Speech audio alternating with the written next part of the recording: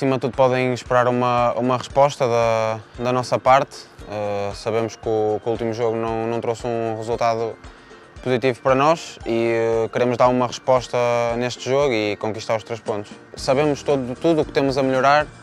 e, uh, como já disse, temos este jogo para, para mostrar isso e para, e para dar uma resposta a todos os jogos que foram menos, menos positivos e tenho a certeza que vamos, vamos fazê-lo. Acho que toda a gente sabe que, que ter a braceira de capitão é uma, é uma responsabilidade. Não que, não que eu sinta muito, porque sobretudo tento me divertir a, a jogar, mas claro, acho que isso, isso acresce-me uma responsabilidade a, a, todos os níveis de jogo, não só a querer fazer mais um golo ou a querer dar uma boa resposta, mas claro, sim, acho que acresce um bocado de responsabilidade. Se, que se tivesse mais assistências e, e mais golos, uh, era muito melhor, mas Acho que, que, é um processo demorado, uh, longo e demorado e uh, sei que eventualmente vão, vão acabar por, por aparecer mais gols e mais assistências